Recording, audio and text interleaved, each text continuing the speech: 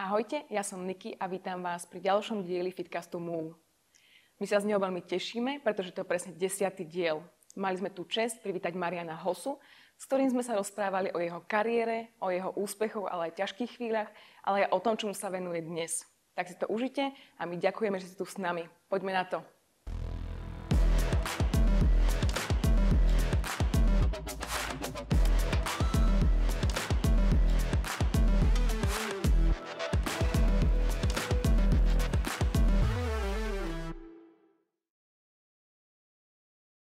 Ahoj Majo. Ďakujem veľmi pekne, že si prijal naše pozvanie a našiel si čas a prišiel si s nami pokecať. Ahoj. Ja som mala príležitosť prečítať si tvoju knihu, ktorá bola prednedávnom vydaná. Píšeš v nej o svojom živote, o svojej kariére, o svojich najväčších úspechoch, ale aj o tých ťažších chvíľach.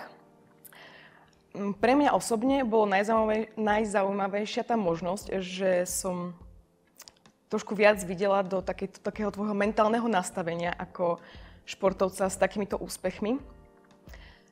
Odkiaľ máš takú tú výťaznú mentalitu, ako, ako ak to tak môžem nazvať? Pretože ja keď som tú knihu čítala, tak som prechádzala cez viacero momentov, pri ktorých som si povedala, že dobre, ja by na tvojom mieste, moja kariéra tu končí, odchádzam domov, z tohto by som sa už asi úplne nedostala. že odkiaľ ty čerpáš tú silu, že Naučili ťa to rodičia, alebo si to mal v sebe od malička, alebo si čerpal zo zámoria? Neviem, nikdy som nad tým nepremýšľal, že odkiaľ som to mal, to nejakým spôsobom sa vo mne tak vynorilo.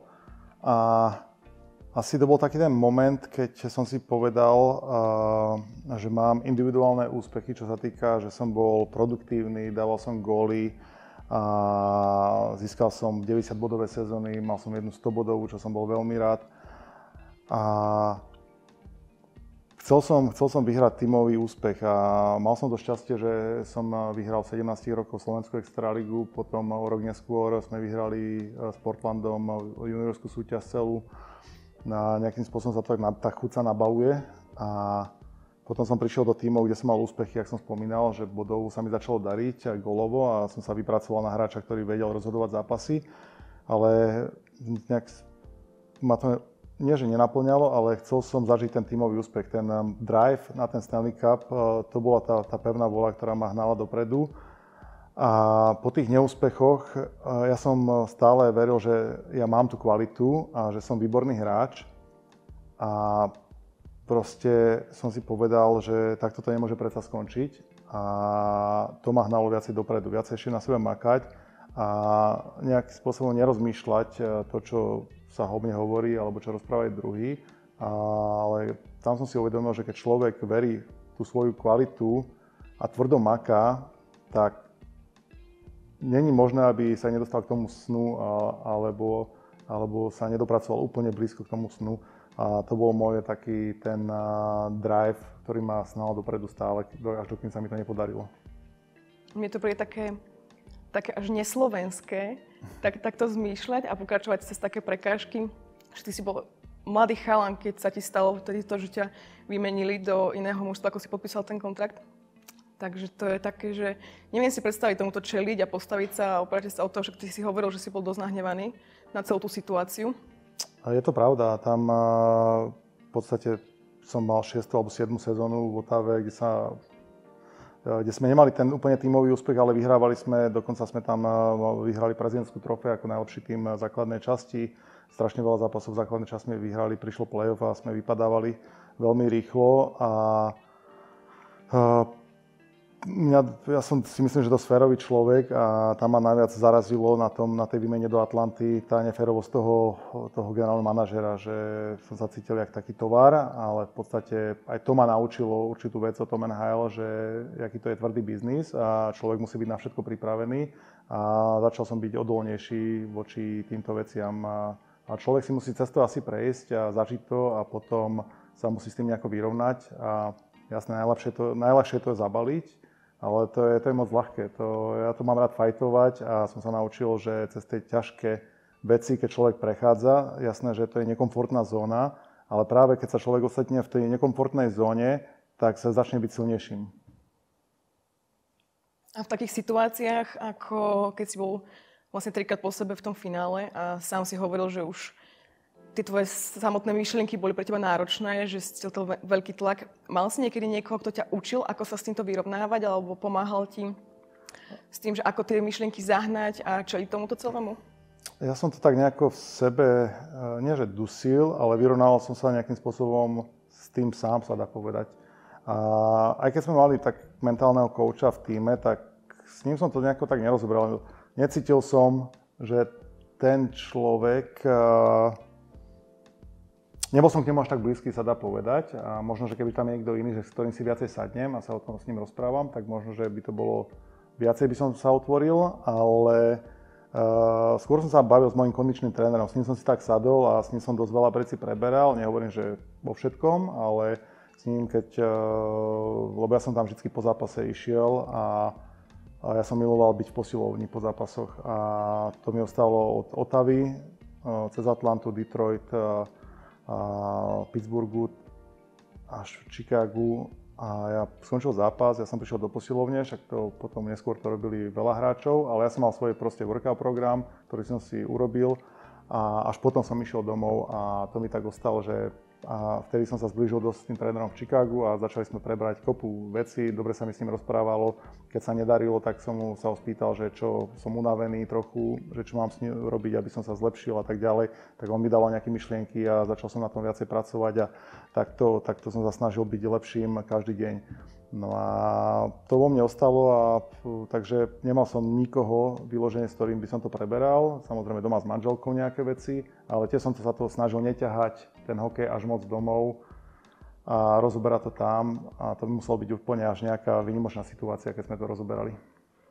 Hej, no to spomínala v tej knihe, že, že veľa akože týchto vecí si si nechával, že ste to úplne nerozoberali. Mm-hmm.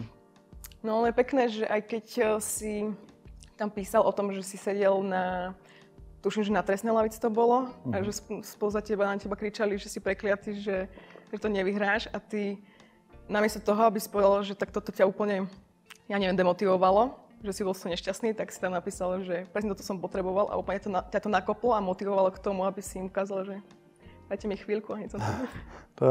Presne, e, jasné, že to sú také nepríjemné veci, keď na vás pokrikujú, ale človek si zvykne, proste už som tam bol, neviem, ktorý to bol ročník, proste už ktorý som absolvoval v NHL. A samozrejme tie tlaky sú obrovské. Dve prehry, a prídete do nového týmu, dajú vám 12-ročnú zmluvu na x miliónov dolárov a teraz e, očakávajú všetci od vás, že budete preformovať, budete ten rozdielový hráč a nie vždycky to úplne ide.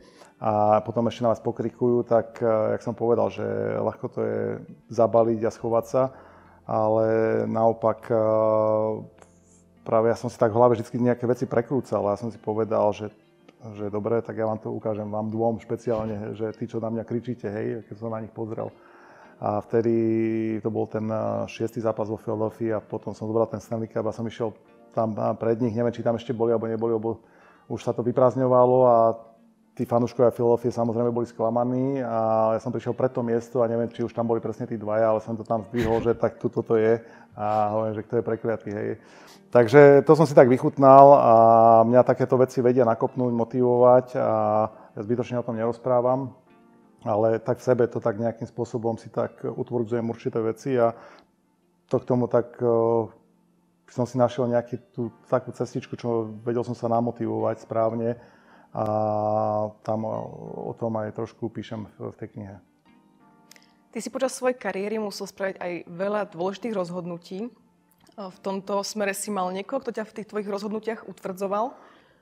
No potom, jak som podpísal, keď som sa rozlúčil s mojim českým agentom a po tej Atlante, tak respektíve po tej Otave, ja som prešiel do Atlanty a v Atlante som začal riešiť už nového agenta tak s Richom Winterom, momentálnym agentom, respektíve už ostali sme, už ho neplatím, keďže už nemám kontrakt, ale stále sme v kontakte a riešime všelijaké nové veci, nové výzvy a on sa stal nejakým spôsobom takým mojim mentorom a keď potrebujem niečo prebrať, tak to preberám hlavne s ním a zase u nás s Peťom Neverišom, eh, s mojim slovenským agentom bývalým a mojim veľmi dobrým kamarátom. Takže mám takú skupinu ľudí, s ktorým keď niečo má, sa potrebujeme buď biznisovo, alebo naopak hokejovo, alebo nejako kamarátsky poradiť, tak, eh, mám pár ľudí, s ktorým sa o týchto veciach radím a Rich Winter je jeden z nich. A takto spätne, keď sa pozrieš na to, zmenil by si nejaké svoje rozhodnutie, ktoré si urobil? Mm, nedá sa povedať, že by som asi, asi by som nemenil nič, asi to tak malo byť, jak to bolo. A človek sa dostane do situácie a si myslím, že najdôležitejšie je, ako, ako na tie veci zareaguješ. A to je kľúčové a potom sa z toho dostaneš. Takže e, vždycky sa niečo stane, prihodí a je na každom z nás, jak dokáže na to zareagovať. A z toho som sa snažil vždycky naučiť, že OK, e, nikdy nie je koniec sveta a OK, som v tejto situácii, jak sa najlepšie z toho dostať, alebo jak túto situáciu najlepšie vyriešiť. No, ty si aj spomínal, že po každej nejakej ťažšej situácii si vyšiel niečo silnejší, že že ťa to tak nejako posilnilo a Dá, dá sa povedať presne, že to je, jak som spomínal, že tá nekomfortná zóna, jasné, že nikomu to nie je príjemné byť v nekomfortnej zóne, ale presne to ťa posunie ďalej, to ťa urobí silnejším a vtedy si začneš budovať uh, nejakú to svoje ja a prišli tie ťažké momenty kedy si musel odpovedať uh, tým médiám a postaviť sa pred televíziu, keď si podpísal uh, do týmu, s ktorým si práve prehral a potom si prehral s tým týmom, kde si mal byť. A samozrejme to nebolo jednoduché, ale proste neviem, ja som, uh, keď ma zavolali, že ho teba chcú a je tam veľa médií a budú ťažké otázky. Naši PR chalani mi hovorili, hovorím, že OK, som na to pripravený, proste ja som sa do tohto dostal a teraz je na mne iba profesionálne na to odpovedať a priznať si, že boli lepším tímom o to, že nám porazili o jeden gól a prišlo potom to leto a ja som vedel, že musím ešte tvrdšie pracovať. Ja som vedel, že ma podpíše nejaký dobrý tím a vedel som, že to bude za dosť peňazí a že ten tlak bude ešte väčší na mňa a bolo iba na mne, že ak sa na tú sezónu pripravím, nielen fyzicky, ale aj mentálne. A to už som začal nad tým rozmýšľať, e, ešte neskončila poriadne ani tá sezóna a už som, už som, už som mal myšlienky v hlave. A nesnažil som sa plakať, čo sa udialo. Samozrejme, nebol som s tým spokojný, stotožnený a mrzelo ma to veľmi dlho, že sme prehrali. Nebudem klamať, ale na druhej strane ma to posilnilo, poučil som sa z tých chýb a snažil som sa ich napraviť a do toho ďalšieho ročníku priniesť to pozitívne. Aké je to pre vás športovcov, keď viete, že celý svoj život, alebo teda väčšinu toho, tej hráčskej kariéry, budete chodiť z klubu do klubu a že z toho vystriedate viacero? Lebo ja som celý život tancovala uh-huh. a tancovala som v jednom jedinom klube. Potom som išla na rok do Bratislavy do jedného klubu a presne tam zastalo to, že som si povedala, že toto už nie je taká tá moja rodina.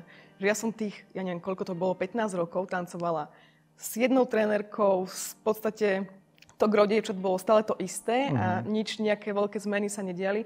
Teraz si spätne uvedomujem, že možno to bolo také ochudobnenie o veľa vecí.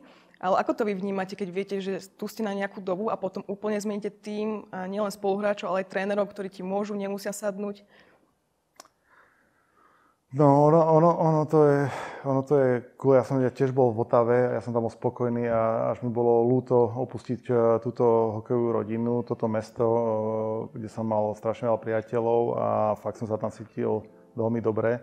A zrazu prídem e, do týmu, ktorý bol na dne a prišiel do týmu, kde aj ten servis alebo všetko okolo toho hokeja bol úplne na c úrovni, keď to rozdelíme kluby Ačko a Bčko a Cčková. V Kanade sú všetky Ačkové, originál všetky sú Ačkové, potom sú nejaké Bčkové a Cčková bola Atlanta a ešte pár tímov, Arizona a tak ďalej. No ja som sa zrazu ocitol a tam si videl ten, uh, už len v tej kabíne, že čo všetko mali tí hráči k dispozícii a čo nemali versus uh, v tých najlepších mústvách. Takže aj ten travel, no proste to si cítil hneď, že si prišiel do úplne iného marketu. A môžem, môžem potvrdiť, že ja som sa v tej Otave cítil dobre, ale na druhej strane, na druhej strane ja som, je cool, keď človek, pár, je pár hráčov NHL, ktorí ostanú v jednom klube celý svoju, celú svoju kariéru a stanú sa z nich ikony, vyvesia im dresy, nie úplne každému, ale väčšinou z nich, lebo málo komu sa podarí dostať v jednom týme celú kariéru. Ale ja som mal taký, že OK, toto sa stalo. Nechceš meniť 30 tímov, lebo zase nechceš byť suitcase, že ťa posielajú stále a ty sa iba balíš a chodíš do iných tímov. Ale chcel som zažiť tie iné atmosféry v tých, eh, napríklad vždy som chcel ísť do Detroitu, sa tam naučiť niečo od tých hráčov.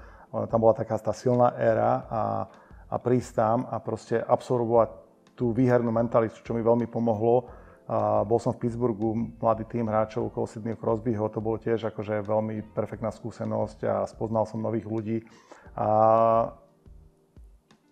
tieto skúsenosti ťa obohacujú, prinesú ti niečo nového, ťa posilnia a keď prídeš na iné miesto, tak to vieš aj porovnať trochu a povedať si, že čo je lepšie, čo je horšie a ťa to aj posilní každý tento moment.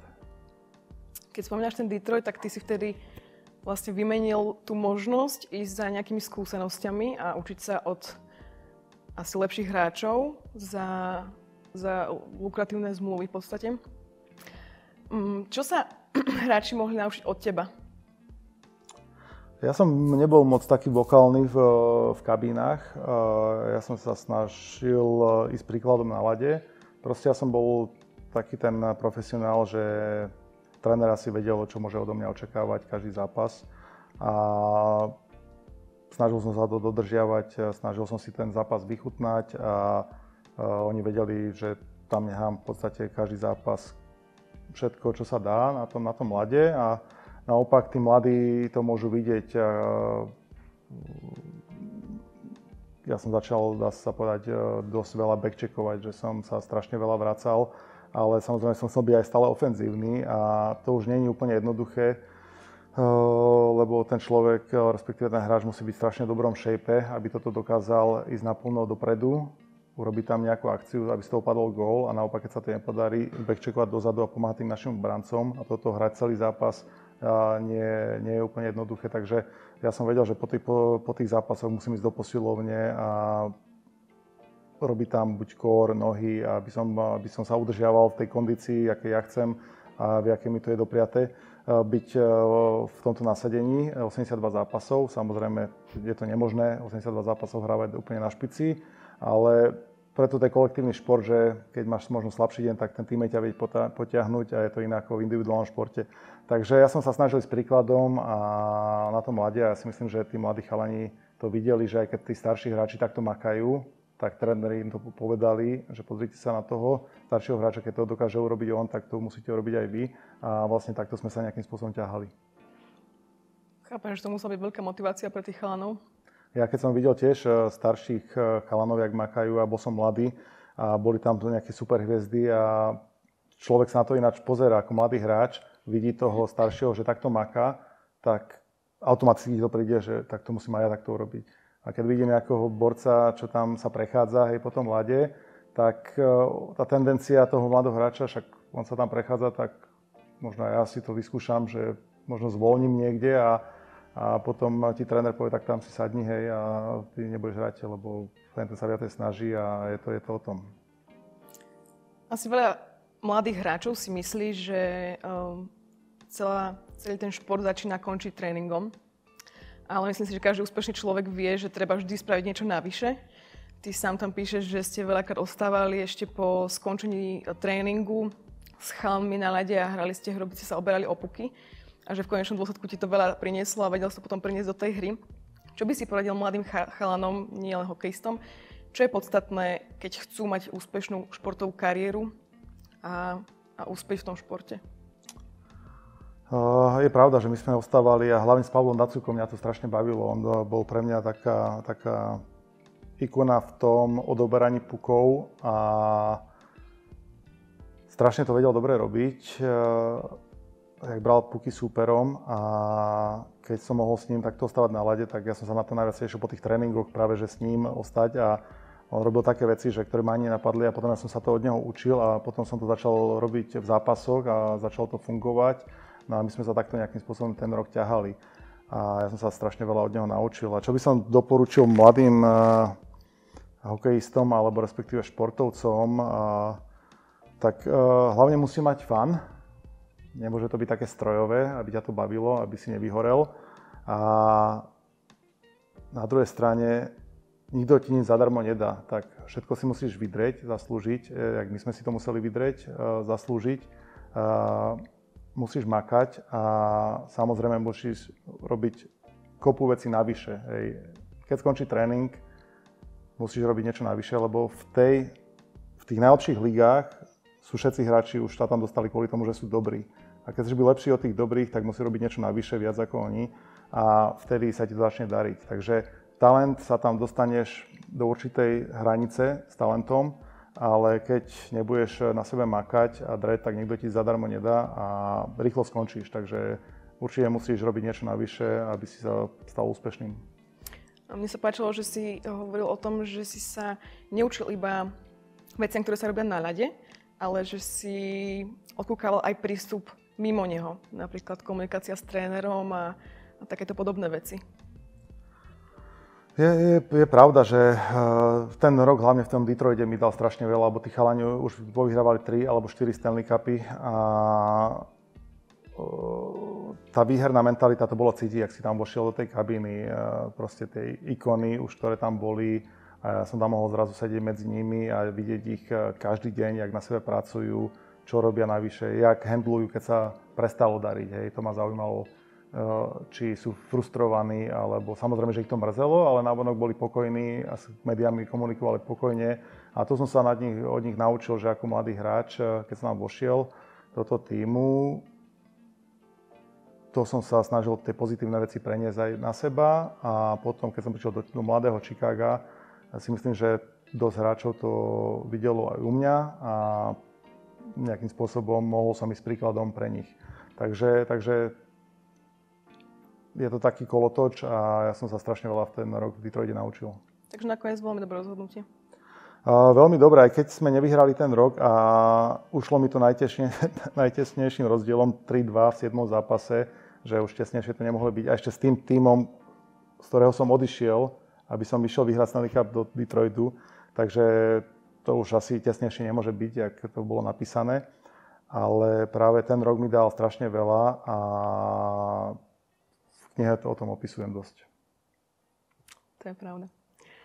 Mm, myslíš si, že sú nejaké vlastnosti, ktoré si ty mohol vidieť na všetkých takých tých úspešných hokejistov, ktorí, ktorí hrajú NHL, v NHL a majú podobné úspechy za sebou ako ty? Myslíš, e, či som videl nejaké ich vlastnosti? Také podobné vlastnosti, ktoré akože sa tam často vyskytovali. Mm, tak každý, každý ten hráč e, má inú personality, e, každý je nejakým svojím spôsobom iná osobnosť, ale mne sa, keď sa bavíme už o tom Detroite, mne sa strašne ľúbil Nick Lindstrom strašne pokojný Švéd, kapitán mužstva, vyhral 7 Norrisových trofej za najlepšieho obrancu, 4 e, Stanley Cupy mal a proste on, on bol taký strašne pokojný človek, to prenášal z toho ľadu do kabíny, keď sme cestovali v lietadle, tak sme sedeli pri jednom stole s Čeliosom a oni si tam popíjali červené víno a mne to prišlo strašne ako cool, že proste taká, taká tá pohoda tam vládla a ja som sa to snažil nasať. A aj po prehratých zápasoch oni makali tvrdo a nedali na sebe vedieť nejakú tú frustráciu a to sa mi na nich ľúbilo. Že oni boli stále pokojní, hej tak samozrejme, keď už máš 4 Stanley Cupy a 7 Norrisových trofej, tak si pokojný, už ťa nerozčuli veľa vecí, ale, ale to sa mi na nich ľúbilo a to som sa snažil preniesť, že dobre, prehrali sme 2-3 zápasy a teraz nejdem panikáriť, ale práve naopak, e, ešte viacej budem tvrdo pracovať na tom tréningu v tej posilovni a viem, že ten výsledok sa dostaví skôr alebo neskôr, hej, takže to bola tá mentalita. Ty si so svojou manželkou už veľmi dlho a ona vlastne s tebou zažila veľkú časť tvojej kariéry. A vy ste zo začiatku žili vlastne tak, že ona bola na Slovensku veľa, ty si bol v zahraničí. Aké to celé bolo pre vás? Aké, ako sa to dá vôbec zvládnuť, že ona tu študuje, má tu svoje povinnosti a, a ty si tak ďaleko od nej. Asi ste si vtedy ešte nefacetimovali a nemali ste takéto možnosti. Hej, ale ona v tom roku 2004, keď sme sa zoznámili, tak eh, v podstate Jeden rok sme hrali tu v Trenčine cez ten lockout, takže sme boli doma, ale potom už vlastne muselo prísť to rozhodnutie, že ide so mňou a bola tam so mňou, ale študovala už individuálne. Takže nebolo to úplne tak, že ona bola na Slovensku a ja som bol v Amerike. Bolo to tak, že ona bola so mnou v Amerike, ale na skúšky musela lietať domov, takže skôr išlo o to, že sa presúvala často z Ameriky na Slovensko a kvôli skúškam. Ale nebolo to tak, že ja som žil v Amerike a ona žila na Slovensku, takže, Aha, takže to bolo skôr o tom lietaní a mm-hmm Mm, si myslím, že nebolo to až také, tak, také, také zlé. Jasné, asi by to nefungovalo tak, že ona by bola rok doma a ja by som bol rok celý v Amerike a prišiel by som na leto a zase by sme sa museli odlučiť, tak by to asi nefungovalo. Uh-huh. Ona sa ale asi do veľkej časti vzdala nejakých svojich snov, aspoň čo, čo písala, že sa rozhodovala, či ide riešiť svoju kariéru alebo uh-huh. maximálne podporovať teba. Tak teraz sa už je dostalo také kompenzácie po skončení tvojej kariéry, že už si ide ona za svojím teraz? Je to pravda, v podstate sa musela vzdať e, nejakého svojho sna, čo mala a bola so mňou úplne v cudzej krajine a musela si na to zvykať, na tú kultúru. Ja som bol polku času z toho na cestách, takže nebolo to úplne jednoduché, ale potom, jak prišli deti, tak samozrejme ona mm, e, je výborná mama a úplne sa perfektne venuje e, deťom. No a teraz po, po, po konci kariéry, uh, už počas konca mojej kariéry začala robiť uh, kurz uh, joginky a začala študovať uh, túto celú sféru. A jej, jej, jej takým snom bol tvoriť si, vytvoriť si svoj tým ľudí a mať svoj tým okolo svojho štúdia. A musíme dať kredit, lebo v podstate mohli sme hneď otvoriť niečo a je to takto dať. A ona si to vybudovala dá sa povedať sama, lebo začala si robiť e, viacej tých lekcií, viacej certifikátov začala získavať, začala to viacej študovať a začala v telocvični vo, svojo, vo svojej dedine v Trenčianskej turnej, takže si tam išla za vratničkou alebo za, ško- za riaditeľkou a si povedala, že chce mať tento čas, že si to zaplatí a že by tam chcela začať robiť e, tieto hodiny jogy.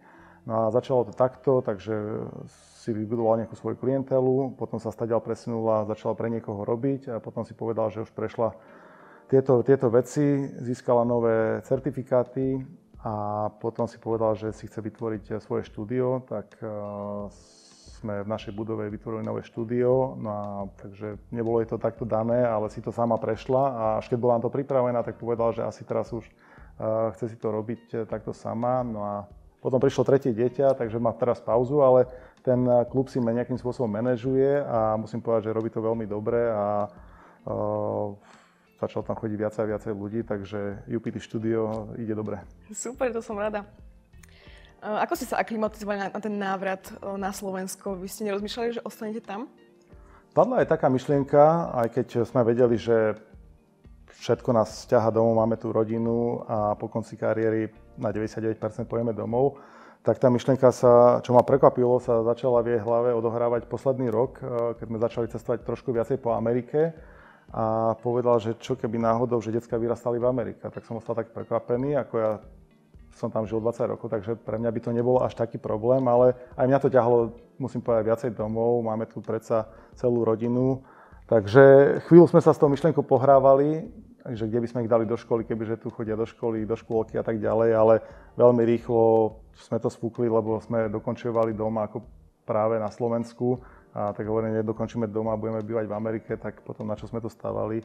A si myslím, že to bolo správne rozhodnutie, sme tu spokojní a v Trenčine sa nám žije veľmi, veľmi dobre. Máme tam, tam prostu kamarátov, priateľov a mm, veľmi rád idem do Ameriky, ale doma som tu.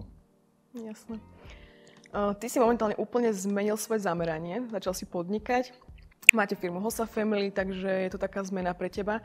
Vidíš to ako nejaký relax od toho celého hokejového sveta, alebo je to, je to teraz pre teba taká drína, pretože robíš niečo úplne iné a nové?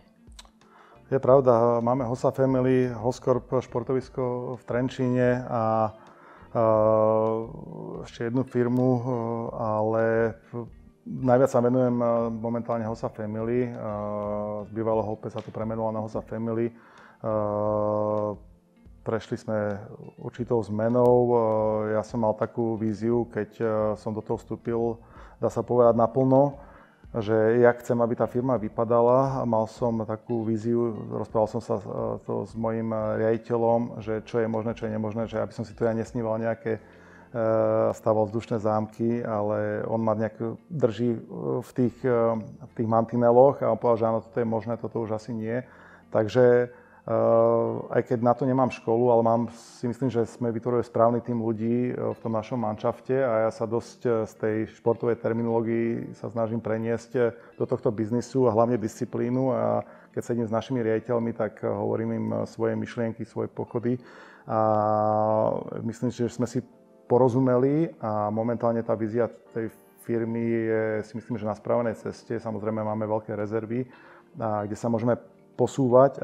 Je to nejakým spôsobom pre mňa taký ten challenge a ja sa v tom aj trochu vidím. Nehovorím, že úplne všetko ma baví v tom biznise, ale som sa našiel asi, že čo ma tam asi naplňa, baví a chcem tú firmu posunúť správnym smerom a verím, že sa nám to podarí. Momentálne máme rozbehnuté pár, pár vecí, kde by sme tú firmu do 4-5 rokov chceli posunúť a ide to pomalšie, ako som si myslel, ale samozrejme, kebyže to je veľmi rýchlo, asi to není dobre, takže asi to ide s tým správnym tempom.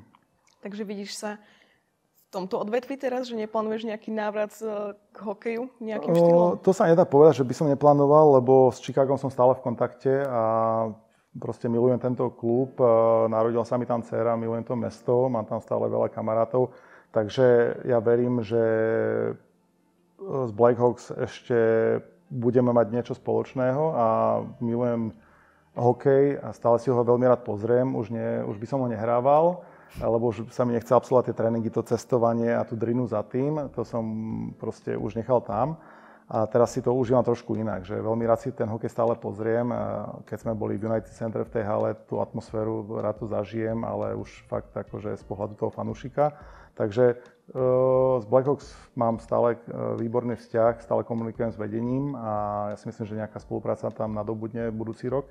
Ale momentálne sa venujem Hosa Family biznisu tu na Slovensku a uh, hovorím, že určité veci ma naplňajú, niektoré veci trošku menej, ale baví ma sa učiť nové veci.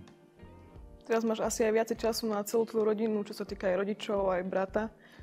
To je pravda, máme väčšinou eh, v nedelu eh, u našej mamy eh, nedelné obedy, to je taká tradícia, takže tam sa vždy všetci stretneme a potom ideme zase k svokre do turnej, tam máme večere, takže nedela je taká, taká rodinná no a potom cez týždeň si robíme svoje veci, krúžky, taxikarčenie, do školy, desiatý, takže užívame si to, pribudla tretia cerka Ema a to je naše zlatičko a takže máme, máme radosť. Krásne. Ostal si nejakým štýlom aj pri športe? Mne tuším, že som čítala, že si začal boxovať. Uh-huh. Takže takto sa ideš teraz udržiavať v Začal, no som cez dva roky, dá sa uh-huh. povedať. Aj keď teraz som si dal trošku pauzu, lebo som mal problém s ramenom. Momentálne som už dlhší čas nebol, ale veľmi sa na to teším. Dal som si takú pauzu a udržiaval som v kondícii. Doma mám takú malú posilovňu, takže tam si chodím cvičiť a Eh, buď eh, si robím kardio, že behám na, na pase alebo, alebo na bicykli. Ja som si to tak zostrelil tak posilovňu, že ja viem, aké stroje za tú kariéru som využíval a ktoré mám rád. Takže ja som si tak nastavil, aby som tam nevešal prádlo, ale skôr, aby som si to fakt užil a momentálne sa dá povedať, že ju využívam naplno a žena mi až nadáva, že zase sa tam ide zavrieť. Tak, takže nie je vždy úplne z toho nadšená, ale už vie, že proste aj potom, potom po tej kariére a rád uh, musím zo seba dostať e, niečo a nehovorím, že to musí byť každý deň, ale dosť často som tam a ten box ma baví, naplňa ma to a rád skúšam nové veci. Keď hovoríš o tom rámene, čo všetko si mal ešte zranené? Našťastie počas kariéry som nemal toľko zranení, takže mal som dosť veľkú ACL koleno operované hej, na začiatku kariéry, mal som rameno, keď som prišiel do Chicaga. To boli dve také najväčšie operácie a teraz som si dal vyčistiť lakeť e, rok dozadu, alebo necelý rok dozadu. Uh, ale to bolo, to bolo asi všetko, takže... No ty si mal aj s chrbtom nejaké zranenie? Mal som s chrbtom zranenie, ale tam som nepotreboval operáciu. Mm. Takže tam uh, mi našťastie pomohla pár uh, kortizón šotov a našťastie ten chrbát, lebo to je strašne haklivé. Ja som hovoril, že keď s chrbátom sú problémy, ako mal som veľký problém vtedy v play-off 2013 proti Bostonu, ale našťastie potom sa po tej sezóne mi pán doktor Vyletelka dosť pomohol v Žiline. A našťastie operácia nebola nutná, takže to som bol veľmi rád, lebo s tým chrbátom sú problémy. Ty máš tri cerky, takže teraz sa ten tvoj život otáča do takých ženských smerov. Ako tvoja maminka zvládala život medzi samými hokejistami? Tak ona sa v tom úplne vidí, že má vnúčky, no lebo ona si určite vždy prijala dceru a my sme boli dvaja bratia. No a ona strávila strašne veľa času na zimných štadionoch a keď e, my sme nemali zápasy, tak zase otec mal zápasy, tak chodila podporovať jeho. Samozrejme, takže ona bola dosť hokejovo vyťažená. No a teraz Teraz ja chodím po gymnastikách, klavíroch, tanečných, tak je to úplne iná sféra. Na jednej strane e, samozrejme som chcel mať syna a nejakým spôsobom aj manželka, a, ale možno, že aj to dobré, lebo jak vidím, jak to je v tom hokeji, e, tí rodičia, jak to, jak to žerú niekedy viacej ako tie deti a možno, že som si povedal, asi to tak malo byť, e, že ja som teraz taký nestranný, iba počúvam, keď sa stretnú títo chalani, moji kamaráti, čo majú chlapcov a hrávajú hokej, že aké to tam je, tak hovorím si možno, že aj dobre, že som úplne v niečom inom, hej, že chodím na tie klavíry. A mal by si hokejistu? Ťažko povedať, ale je tam veľká pravdepodobnosť, že asi áno. Asi áno. Dobre, opýtam sa ešte poslednú otázku. Ako podľa teba vyzerá zdravie? Ako vyzerá zdravie? Wow, to je dobrá otázka. Normálne si ma zaskočila. A asi zdravý životný štýl by som povedal. Samozrejme začína to stravou, nejakým cvičením a celá životospráva. Asi tak vyzerá zdravie, lebo čo do seba dáš, tak potom tak vypadáš. Hej. Tak keď preháňaš party, tak asi rýchlo stárneš. asi to není dobré. Samozrejme, keď ješ eh, junk foody strašne veľa, tak tiež to je dobré. Zase je to podľa mňa dobré preháňať s tým zdravým jedlom, že úplne, úplne. Hej, lebo poznal som aj takých ľudí a potom uh, mali tiež nejaké rôzne choroby. A ja si myslím, že taký zdravý balans, že ja sa snažím jesť zdravo, ale mám rada aj také prasačiny niekedy si dať, e, zabíjačky a hamburgery, ale ako musí to mať nejaký, nejaký systém, že všetko veľa škodí a musí byť taká zdravná miera. A ja hovorím vždycky, keď som mal kariéru, že never too high, never too low, že vždycky si choď taký ten stred a tam si plávaj, hej, a bude všetko v poriadku. Hej, takže musíš to, musíš to mať také vykompenzované. Určite áno, hej, hej. Nemám rád úplne až extrémy, mm-hmm. ale taký zdravý stred si myslím, že asi tak by som to definoval. No. Super, takže ďakujem veľmi pekne, že si prišiel, že si nám doniesol svoju pozitívnu energiu a držím palcem. Nech ste zdraví a nech sa vám darí. Ďakujem za pozvanie. Ďakujeme. Dúfam, že sa vám rozhovor páčil. Ak áno, nechajte nám like a kliknite na odber. Nájdete nás na sociálnych sieťach a podcastových platformách. Tešíme sa na vás v ďalšom videu. Ahojte!